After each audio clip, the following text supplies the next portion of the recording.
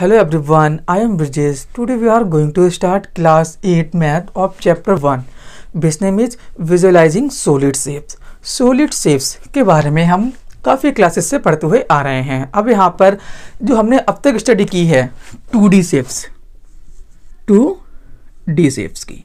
अब D means होता है डायमेंशन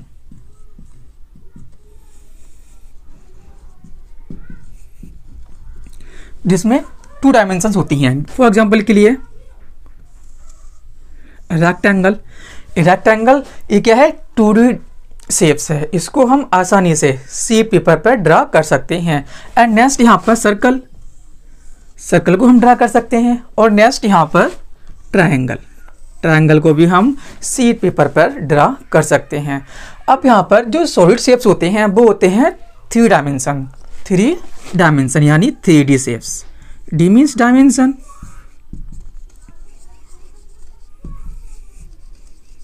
dimensions अब जो जिसमें लेंथ ब्रीथ एंड हाइट होती है लेंथ ब्रीथ एंड हाइट होती है, जो कुछ स्पेस घेरते हैं, वो होते हैं थ्री डी डायमेंशन यानी कि थ्री डायमेंशंस अब यहाँ पर जैसे कि मैं एक एक बना रहा हूँ फिगर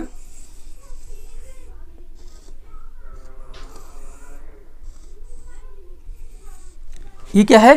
थ्री डायमेंशन शेप है। अब नेक्स्ट यहाँ पर एक बॉल ले लेते हैं, यहाँ पर एक, ये क्या है? बॉल बॉल भी क्या है? एक थ्री डायमेंशन शेप है। यहाँ पर हम जब बॉल को यहाँ पर कहीं पर पुट करेंगे, कहीं रखेंगे उसको तो वहाँ पर कुछ स्पेस लेगी। तो क्या हो गया या ये हो गया थ्री डायमेंशन अब यहाँ पर जो टू डायमेंशन होते हैं, वो कोई स्पेस नहीं लेते हैं। यहाँ पर ये देखिए, इसको हम आसानी से आसानी से रिप्रेजेंट कर सकते हैं कहाँ पर? सी पेपर पर। बट जो होते हैं थ्री डायमेंशन वो क्या होते हैं? वो कुछ स्पेस लेते हैं। वो होते हैं three dimension next topic is view of solid shape जितने भी सॉलिड शेप यानी कि थ्री डी होते हैं, उनके अलग अलग व्यू होते हैं। फॉर एग्ज़ाम्पल के लिए आई हैव अ बुक मेरे पास एक बुक है। अगर इसको आप सामने से देखोगे तो उसका क्या हो जाएगा ये? फ्रंट व्यूज़ है। ये कौन सा व्यूज़ है? फ्रंट व्यूज़ अगर इसको आप टॉप से देखते हो, यहाँ से this is a top views ये क्या है? टॉप व्यूज़ हो जाएगा। एंड नेक्स्ट ये क्या है इसका? साइड व्यूज़ ये क्या है इसका? साइड व्यूज़ अगर हम इसको सामने से देखते हैं तो हमें इस तरह से दिखाई देगी ये। तो क्या हो जाएगा ये? फ्रंट व्यूज़ ये फ्रंट व्यूज़ हो गया। अब नेक्स्ट अगर हम इसको साइड से देखेंगे यहाँ पर तो ये देखिए तो ये क्या है? साइड व्यूज़ साइड व्यूज़ हमें इस तरह से दिखाई देगा। ये हो गया इसका साइड व्यूज़ अब नेक्स्ट यहाँ पर अगर हम इसको टॉप से देखते हैं टॉप से मीन यहाँ से देखेंगे तो क्या हो जाएगा? इसका ये टॉप व्यूज़ हो जाएगा। तो हमें इस तरह से दिखाई देगी। ये टॉप व्यूज़ होता है।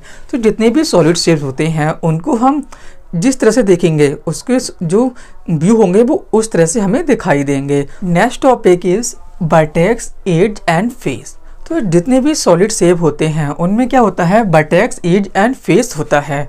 अब बटेक्स क्या होता है? एज क्या होता है? एंड फेस क्या होता है? अगर आप ये देखिए, ये आपको ये बुक दिख रही है यहाँ पर। अब यहाँ पर ये आपको सामने का दिख रहा है तो इसका क्या हो गया? ये फेस हो गया। ये क्या हो गया? फेस तो दिस इज़ फेस ये क्या हो गया? फेस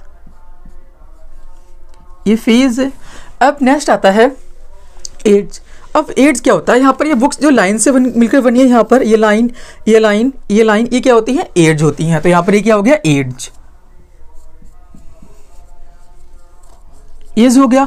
अब नेक्स्ट आता है बटेक्स अब बटेक्स मीन्स होता है कॉर्नर पॉइंट यानी कि जो यानी कि जो कॉर्नर के पॉइंट होते हैं ये वाले ये ये ये होते हैं इसके बटेक्स ये ये क्या है? बटेक्स ये है बटेक्स तो क्या हो गया? ये बटेक्स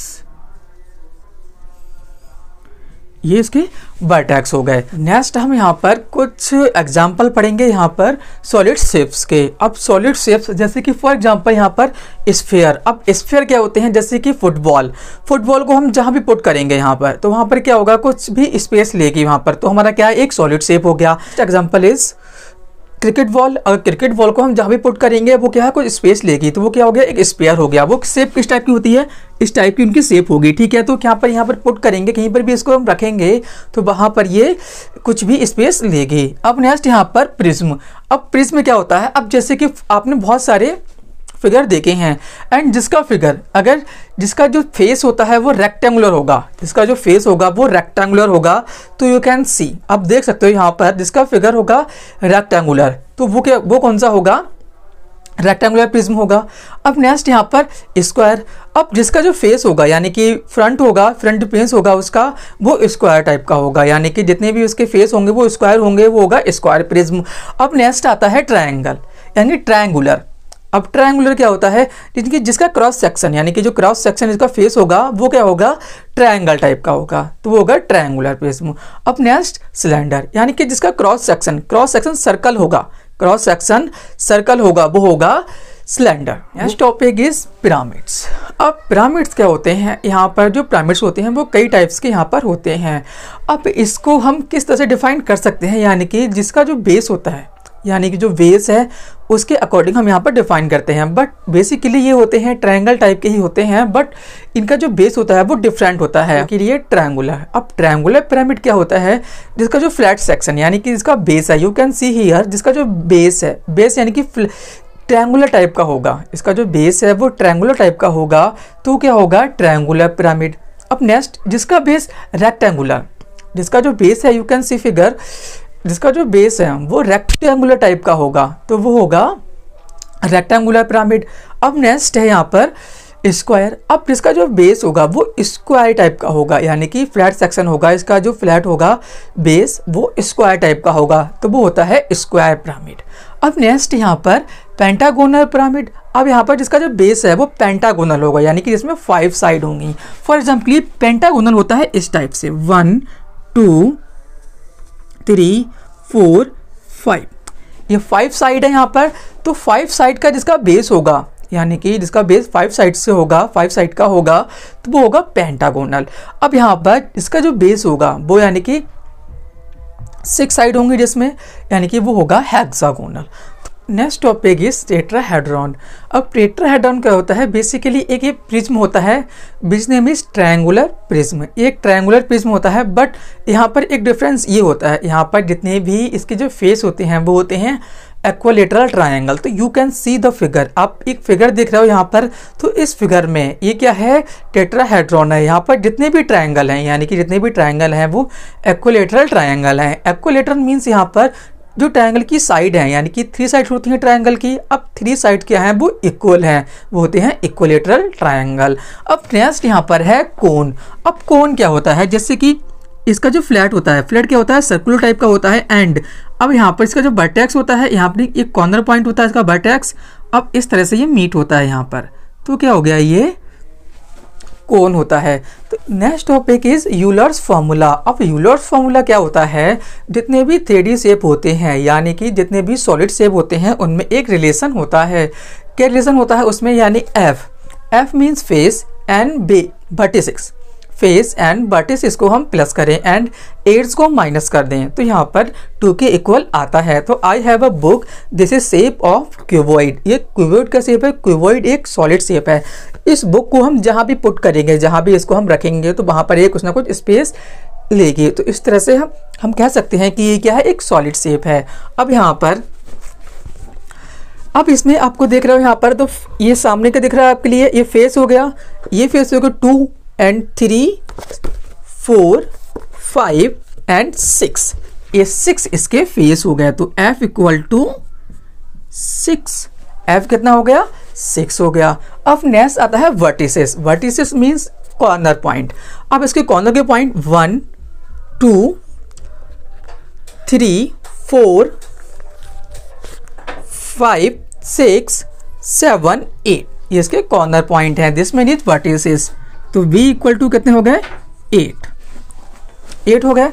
One two three four five six seven eight है एज अब यहाँ पर देखिए एज मीन्स लाइन सेगमेंट तो one two three four five six seven eight eight line हो गई यहाँ पर. अब नेक्स्ट नाइन टेन, ये भी एक तरह की लाइन है। Eleven, twelve. इस तरह से इसके जो एयर्स हो गए, वो हो गए ट्वेल्व। अब हम यूलर फॉर्मूला का यूज़ करेंगे, यहाँ पर चेक करेंगे कि फेस प्लस बेस को हम ऐड करेंगे एंड ई को माइनस करेंगे देखेंगे कि टू के इक्वल आता है या नहीं आता है।